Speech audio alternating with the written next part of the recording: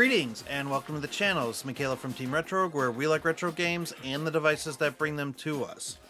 So today we're here talking about the Lenovo Legion Go S. Now this is a Windows edition that I purchased back in February, and I did a full review on this handheld, and you could see it probably up here in a card somewhere. And in that video, I mentioned that this was a handheld that was actually being held back by Windows and that it was actually something that was more meant for SteamOS. Well, now that it is mid-July and SteamOS has been out for a while, you may be an early adopter and you may have gotten the Windows version, or you might have purchased this last week on sale for about $500 and you want to take your Windows version and you want to install the official SteamOS image on it. Well then, my friends, this video is for you because that's exactly what we're going to do in this video. We're going to actually take the Windows version of the Lenovo Legion Go S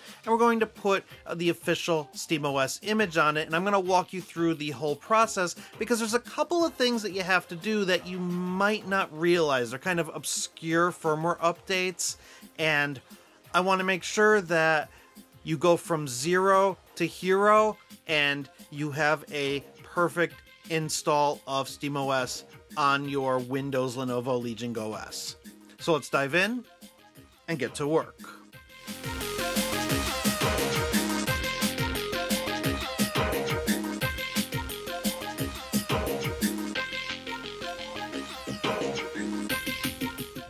We need to actually start this guide on the Windows end because there are certain things that we need to do specifically in Windows to make sure that when we switch over to SteamOS, all the hardware is working properly. When these Windows models were released, they were released with outdated controller and trackpad firmware, and updating it all is not necessarily available on the SteamOS end. The last time I actually tried to install SteamOS on this handheld, I didn't really know that. And my trackpad didn't work. My trigger buttons were also wonky as well, and I couldn't figure out for the life of me why this was happening. And I had to do a lot of research and Googling and Reddit browsing to finally figure it all out. So that's why I decided to make this video, because if you have the Windows model, maybe you were an early adopter, or maybe you got it during Prime Week, and you want SteamOS on your current Windows model, I don't want you to have to go through all that. I want you to be able to go right from zero to hero. So that's why I have this video for you, and that's why I've also published a written guide on the Retro Handhelds website, so that way you can reference either one and go step by step, and I could show you exactly how to get from Windows to SteamOS and not have to deal with any of the hiccups along the way like I did. If you're just taking this unit out of the box with the full intention of switching it over to SteamOS, turn your unit on first and go through the initial Windows setup to get yourself to the desktop. You will need a Microsoft account for this, unfortunately. There's no way to make a local account anymore in Windows. Once you've done that, go into Legion Space and follow the prompts to install the app. When you can get into Legion Space, check in the settings for any driver or BIOS updates. Mine is clean and up to date because I've already gone through this process off camera, but if there's anything here that needs to be updated, just be sure to go through that process and update. We're to go ahead and continue with the trackpad update. Now this is a very weird one because it's not available in Legion Space or through Windows Update. The only way to update the trackpad is by going to a knowledge base article on Lenovo's Chinese website. There, you'll find a download link to the firmware update with very specific instructions that need to be translated. I found a pretty good translation of it browsing the internet. I've included that translation in my written guide, but I'm going to go through the process here as well so that you can see it in real time. Once you've downloaded the file, extract the contents, and open up the extracted folder. Inside the folder is an update.bin file. Double click it and read the results of the command prompt. It will say either Better Life or SPIO. This is the type of trackpad that you have installed on your device. So the directions are a little different depending on what pops up on this script. My trackpad came up as Better Life, so I'm going to go into that folder and run the exe. Select config, navigate to the Better Life folder in the pop-up window that shows up. From there, select the update.btl and run the program.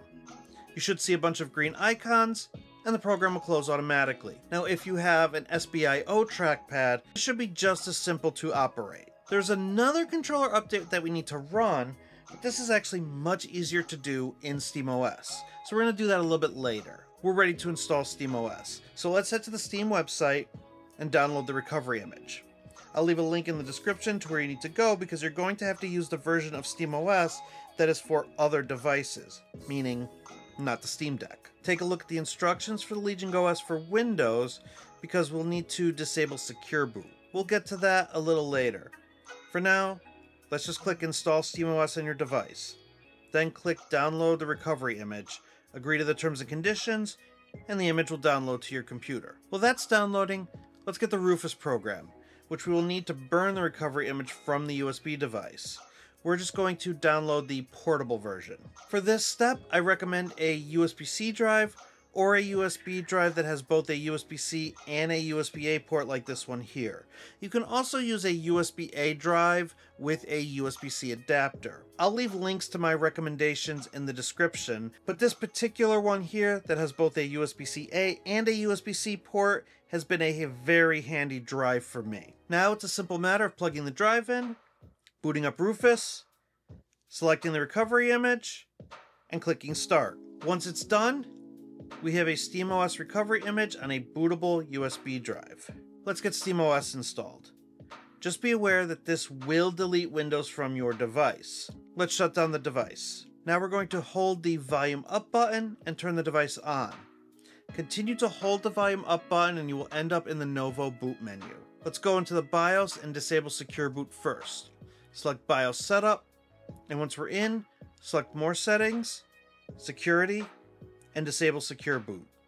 And that's it.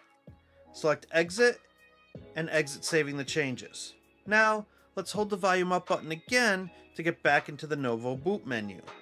This time, we're going to boot from USB and wait for the KDE environment to start up. We'll need to use the touchscreen here as the trackpad won't work in recovery. Don't worry, it will work when SteamOS is installed. All we have to do here is click Wipe Device and install SteamOS.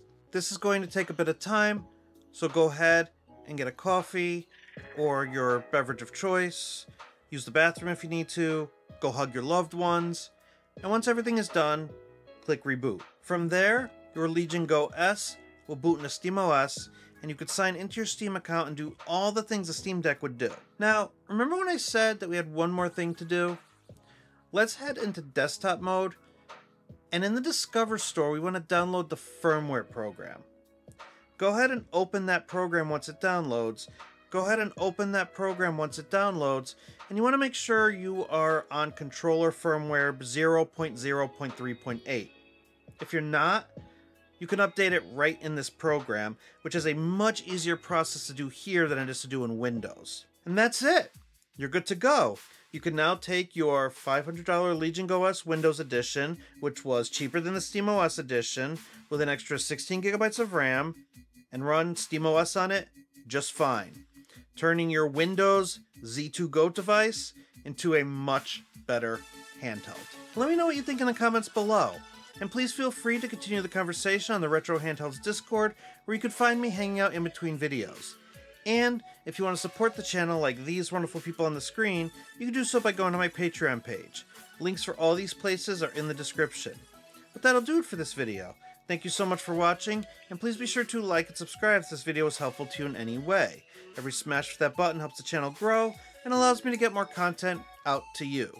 But until next time, bye for now, and don't stop believing.